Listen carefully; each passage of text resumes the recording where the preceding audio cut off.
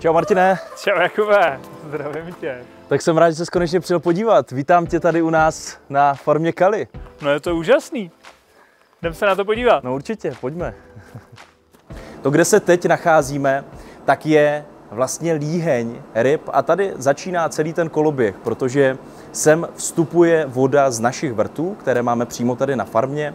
No a jde právě do líhně, kde my si sami, odborně se tomu říká, vykulujeme ty naše malé rybičky. My těm rybám stavíme takové pětivězdičkové hotely. Snažíme se jim tady udělat co možná nejpřirozenější podmínky a nejideálnější podmínky pro ten jejich růst. A právě proto třeba i v těch kádích, tak my stabilizujeme teplotu vody, aby nedocházelo k výkyvům.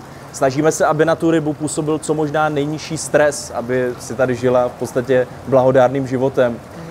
Takže Jakube, jestli to chápu správně, tak takovéto rybí farmy, jestli fungují už od 70. let, tak to není nic nového. Je to tak? Je to přesně jak říkáš, Martine. Představ si to tak, že takovéto intenzivní chovy ryb, takzvané RAS systémy, tak už fungují úplně běžně, jak po Česku, tak i ve světě. A jsou to velmi rentabilní business modely.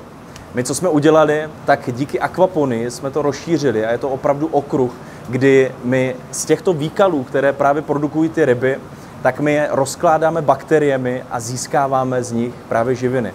Když si to představíš úplně jednoduše, tak jediným vlastně provozním nákladem do toho systému tak je právě krmivo pro ryby. No a z odpadních látek, tedy z metabolismu z těch ryb, tak nám rostou ty rostlinky.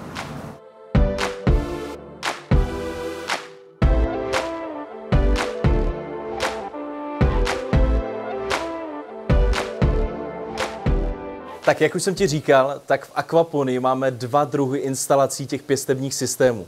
Máme skleníkové provedení, což je část našich farem, třeba přímo v Tuřanech v Brně. No a nebo právě tady na Kalech, tak máme to halové provedení, kde, kde si můžeš všimnout, tak na pět pater, tedy vertikálně, pěstujeme v takovémto regálovém rozložení. Konkrétně tady na této farmě tak děláme hlavně listovou zeleninu, jsou to hlavně saláty, ale máme tady i bylinky, třeba tady se můžeš podívat třeba na meduňku.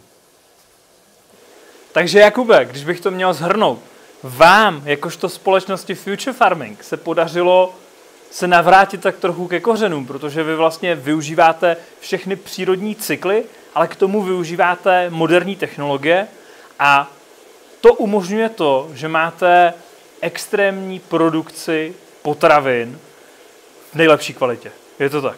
Je to přesně, jak říkáš, Martine. To znamená, že my ty rostlinky, tak oni opravdu rostou z organických hnojiv, tak jak to příroda vždycky chtěla. Není tady žádná chemie. Nepoužíváme ani žádnou agrochemii, co se týče pesticidů nebo herbicidů. A hlavně jsme schopni produkovat v průběhu celého roku na našem lokálním území.